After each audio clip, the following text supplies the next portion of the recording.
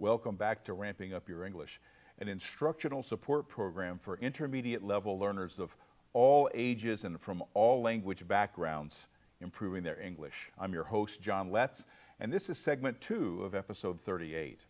Our thematic unit is animals, and today we feature pets. Now, the use of the word pet in the previous video clip could cause confusion, as when the narrator said to be sure to pet your pet. That's because the word pet can be different parts of speech.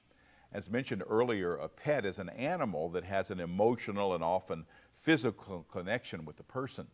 Used this way, the word pet is a noun, and nouns name people, places, things, ideas, and concepts.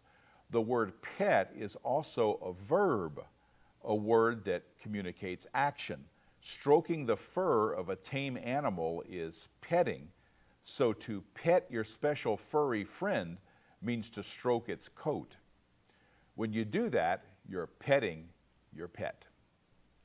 Now, in recent episodes, we've touched on some basic English phonics skills, taking advantage of some animal names that feature short vowel sounds. Our first venture was with the word cat, a word with many rhyming words using the same short vowel sound and ending in the T sound. Well, we then used the word can to further practice the short A sound. In both cases, we found a long list of rhyming words. These word groups are called word families, and exploring word families is a good way to grow your vocabulary. We also found a word family rhyming with dog, so by now you've practiced the short A and the short O sound. Now let's use another vowel today. The word pet has the short E sound, and we can use the same method as before to find members of the word family. As before, we begin at the start of the alphabet. Our first consonant is the letter B, which gives us the rhyming word bet. Bet means to wager. People bet on a horse race, for example, and even dog races. In the word bet, the middle letter E is pronounced the same as the E in pet, the E sound.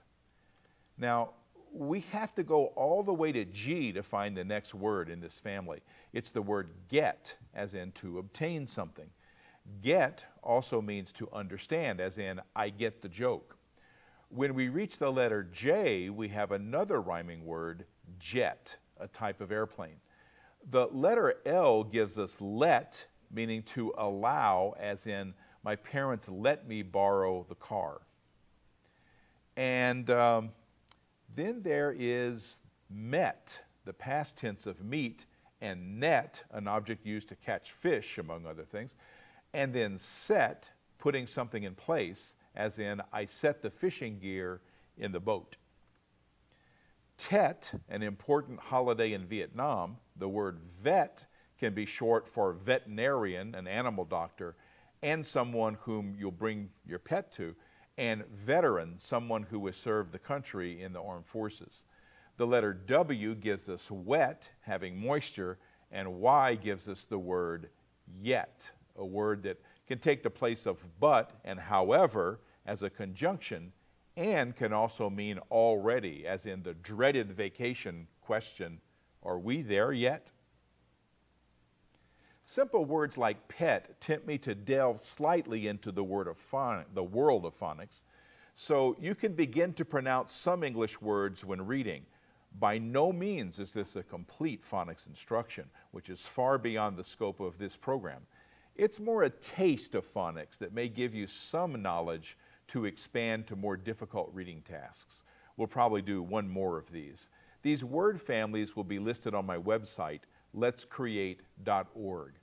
I've also included a link to starfall.com, a website well suited for learning the phonics, the basics of phonics in English. If you look up the words in that word family list, you'll have the start of your own English vocabulary list. These are words you've looked up in the dictionary. The idea is to help you pronounce English words when you're reading.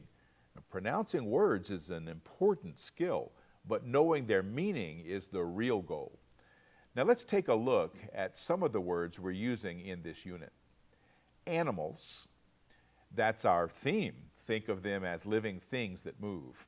Wild, not tamed by people, living by their natural instincts. Tamed, the opposite, an animal's behavior influenced by humans. Domesticated, it's kind of like tamed, often involving using a service. Pet, an animal with a close relationship with people. And we'll add feral, a series, uh, species, I mean, that's normally domesticated, living as if it were wild. And we'll add stray to the list, a pet that has no longer has a home. And then there's the animals that we have seen so far horse, cat, and dog. And we'll add to this list as we go further into the unit. I suggest dedicating a few pages to your notebook to vocabulary. So that's a place you can go look up words without going to the dictionary. When it comes to the kinds of animals we've referred to, it's important to realize that these groups are not absolute. Some of them overlap. A fish could be kept as a pet, but it's unlikely to show much affection. Most fish are wild. An unadapted stray cat can turn feral. Um, service animal may be part of the family and treated as a pet.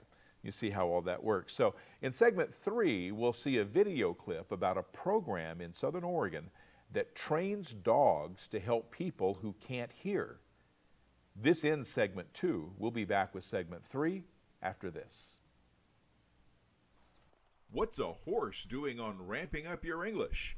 We're galloping toward a new unit animals. So we're in the country meeting some horses. Horses are just one of the many animals that will help viewers ramp up their English. So funny. Our Mr. Cowboy, you loving that?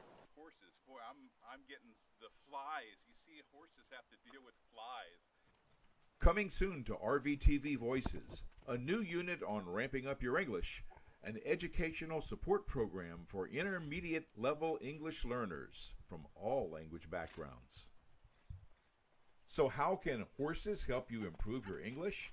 Watch Ramping Up Your English to find out on channels 15 and 115 in Ashland and channel 182 on Charter Cable in Southern Oregon.